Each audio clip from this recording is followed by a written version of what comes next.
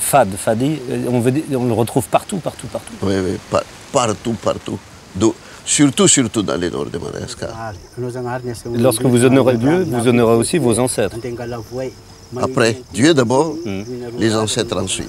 On a beaucoup parlé du culte des ancêtres, de- du du respect du passé. Est-ce qu'il ne faudrait pas un petit peu avoir un culte de l'avenir et de- du respect des gens à venir, de nos enfants, des petits-enfants? Oui, le culte de l'avenir maintenant, les autorités gouvernementales. Ils ont entre les mains maintenant ce qu'ils doivent faire.